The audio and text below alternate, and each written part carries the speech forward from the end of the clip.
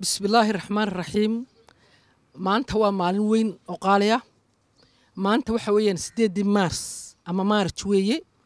Anoo ku hadlaya afka xusbiga wcid ee daryeelka iyo cadaaladda wcid ee somalilan anigu waa gudoomiyey heer qaran ee haweenka jamhuuriyadda somalilan waxaan halkan hambalyo uga diraya haweenka adduunka meel kastay joogaan gaar ahaan haweenka somalilan meel kasta waxaan u diraya hambalyada maalinta haweenka adduunka maanta waa maalin qaali ku ah haweenka.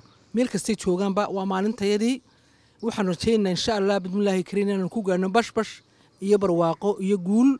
Haweenka markaad eegto waxay u yihiin bulshada. Haweenku waxay ku yihiin lafdhabar weeye haweenku haweenku haddaanu jirin meel lama gaadhin haween haddaanu jirin hooyadu waa damal harweyn hooyadu waa ilaaliyaha ama hagaha qoyska weeye. Hooyadu waa qasnadda guriga hooyadu waa bulshada mudnaanta koowaad hooyaale. Waxaad eegaysaa waxbarashadeenna markaad eegto.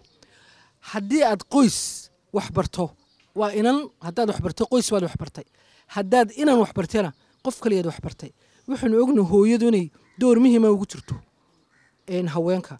Waxaa keliyaad kaga taamiro qaadataa beel kaleba eeged caasho radiallaahu canhu caasho waxayd qofkii keliheed caleyhi salaatu wasalaam ee rasuulkeenna xaaskiisii ee keliya ee xadaayista ka warisay ayaheeda caashi.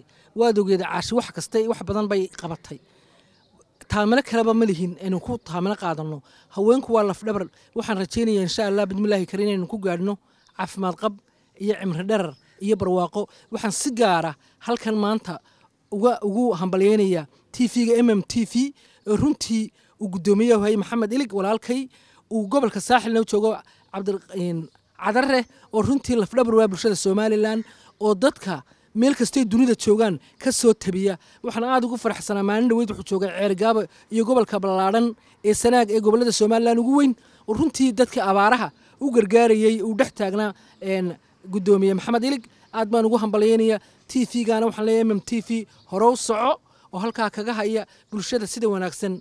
Ay ugu hagaysaan ama ugu shaqaynaysaan waan idinku mahad celinaynaa aad iyo aad baan idin salaamaynaa dhammaantii guul iyo gobonnimo ayaan idin rajaynaynaa. Annaguna waxaanu rajaynaa insha allah hooy ahaan haween ahaan inaynu horumar gaadhno oynu halkaynu joogno hore uga dhaqaaqno si aynu bulsho caafimaad qabta bulsho aqoon leh aynu u soo saarno. Wasalaamu calaykum waraxmatullaahi wabarakaatu